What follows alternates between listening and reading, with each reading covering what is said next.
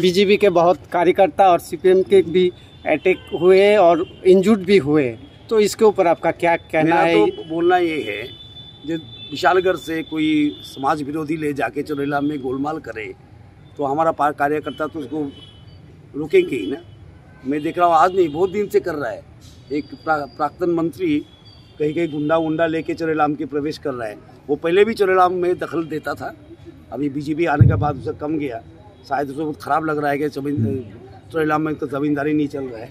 लेकिन हम तो ये होने नहीं देंगे जो गुंडा लोग अल्लाह आके चरेला में डिस्टर्बेंस करें। चरेला में पीसफुल जगह है।